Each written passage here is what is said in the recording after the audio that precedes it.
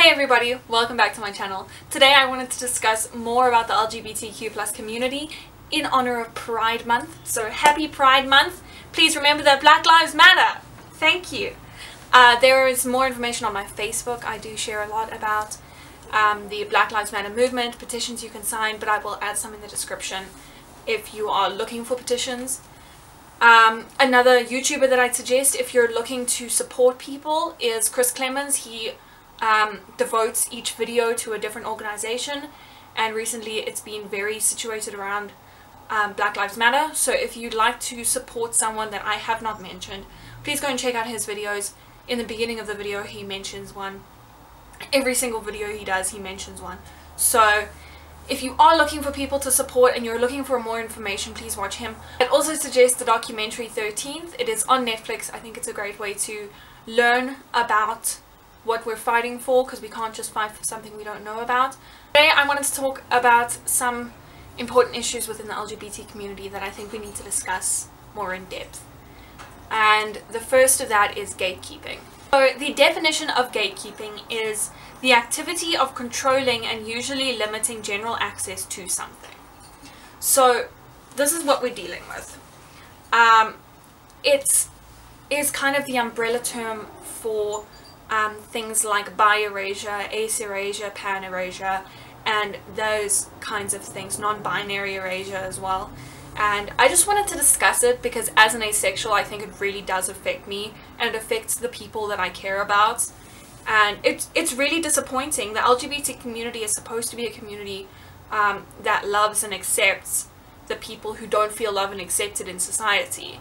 And to say that an asexual or a bisexual is not inherently LGBT because they still may like men or you know they still may like the opposite sex it erases them from the community and that's not what we preach as a loving community.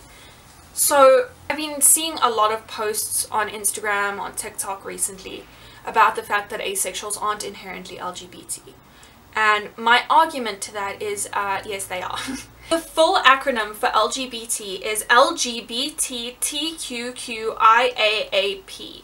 Lesbian, gay, bisexual, transgender, transsexual, queer, questioning, intersex, asexual, ally, and pansexual.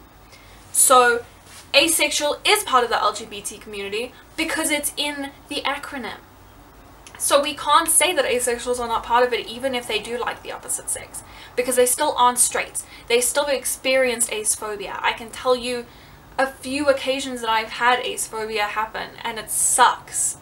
I cannot say that it's equal to the amount of homophobia um, that my friends have experienced or transphobia that my friends have experienced, but there is still acephobia and it's so not spoken about in the community that no one even knows. And by saying that asexuals aren't part of the LGBT community, you are being acephobic. Um, another thing I wanted to talk about is the difference between bisexual and pansexual. They do kind of overlap each other. Um, bisexual is um, the attraction to two or more genders. So you could be attracted to men and non-binary people, or uh, women and non-binary people, or women and men, or um, that kind of thing. Pansexual is the attraction to people not even regarding gender. You don't take gender into account. Where bisexual, you are still considering gender. Please comment if I'm getting this wrong. I'm I'm still learning. I am not an expert on any of this. I am just trying to spread my knowledge with people who are learning like me. So if any of this is wrong, please comment below nicely. We like nice comments. Um, and yeah, bi does not equal pan. Sorry. it's another thing that's very biphobic in the community. There's a lot of bi-erasure. Um, when a woman, a bisexual woman is dating a man, it does not make them straight. They're still bisexual. When an asexual person is dating someone, it does not change their sexuality. It doesn't mean that they are no longer asexual or that the person is no longer bisexual. Another thing that I wanted to talk about is the fact that there are not only two genders. I've been seeing this all over the place. It's getting to me. I questioned my gender for a long time. I'm still questioning my gender. That's why I like to put myself under the queer umbrella and um, that is okay with me. You can call me queer. I do not know where I stand in my gender identity and my gender expression. Um, I express more of a masculine way um, of gender, but I still enjoy dressing up feminine, and that's that's okay. And I'm still not sure that I'm cis. Uh, I did identify as non-binary for a short amount of time, but um, I don't know if this is the way that I feel. And I feel that it's okay to voice your journey. It's okay to narrate how you feel. So I am. so basically gender is not, you know, two set things and that's it. Gender is a spectrum. It is, goes from non-binary to gender fluid.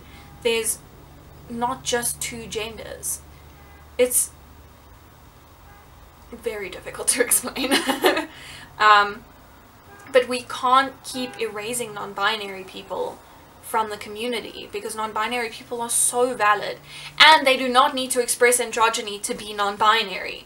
This is something I've also been struggling with is as someone who previously identified as non-binary, I felt that I had to cut my hair short and I had to wear androgynous clothing and that I could not express myself in a feminine way um, because that would make me not non-binary. And we are seeing the most amazing human being, Jonathan Van Ness, who I love and adore. I'm going to use they pronouns for Jonathan just because I feel that that would be the most respectful. Um, but I am not sure which pronouns they use. Jonathan has been making amazing strides in the non-binary community in the way that they express their outward appearance. Um, Jonathan wears skirts and heels and has long hair and it's just so amazing to see someone in the public eye doing this. And I think they're breaking down walls for non-binary people. So when you see a non-binary person who is expressing in a feminine way, they are still non-binary. Okay? And if they're expressing in a masculine way, they are still non-binary cool. there are other um, identities underneath non-binary or with non-binary.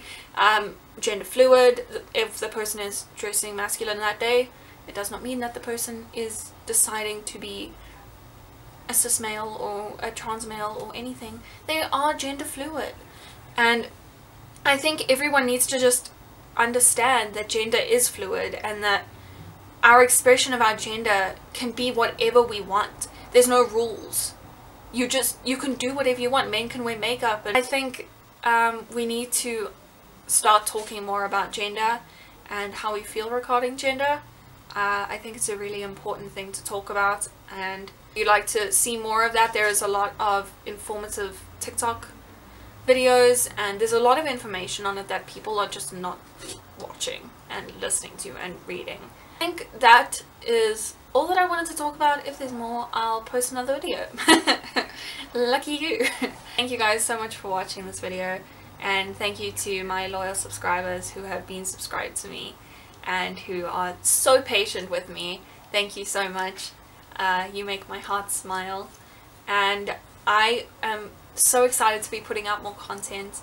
I might do a room tour. If I ever clean my room, I might do a room tour since I'm moving out of this room anyway, I can show you how it changes. I think that would be really cool. And I'll do a moving vlog just so you can see like the process and um, how I set up my animal cages. Maybe I'll make that separate videos. And I'm thinking about doing a plant tour as well. I have a lot of plants. Some of them don't look very good though, so we'll see. and we can do some animal educational videos since I love doing those so much. Alright, thank you guys so much for watching. Please hit the like button if you liked this video and please subscribe if you want to see more of my content. Um, I am putting out more videos and I would be so excited if you would join me on this journey. If you would like to check out our Zoom meetings, please check out my TikToks. We'll be putting more information up there. I will probably put an announcement on YouTube as well. So if you are interested in that, please just keep your eyes peeled for any information that I may be putting out. I'm so excited to go on this journey with everybody and um, show you my journey. I feel like it's really important to be a role model to kids younger than us. Because when I was younger, I was looking for someone like me. And there was no asexual representation anywhere in the world until I was like 18. And I finally found the word on Tumblr or something. I'm going to be documenting my journey just so that younger people who are like me, who are questioning, who are struggling know that it's okay to question and it's okay to struggle sometimes. You just come out of it. So thank you guys so much for watching. I will see you in my next video.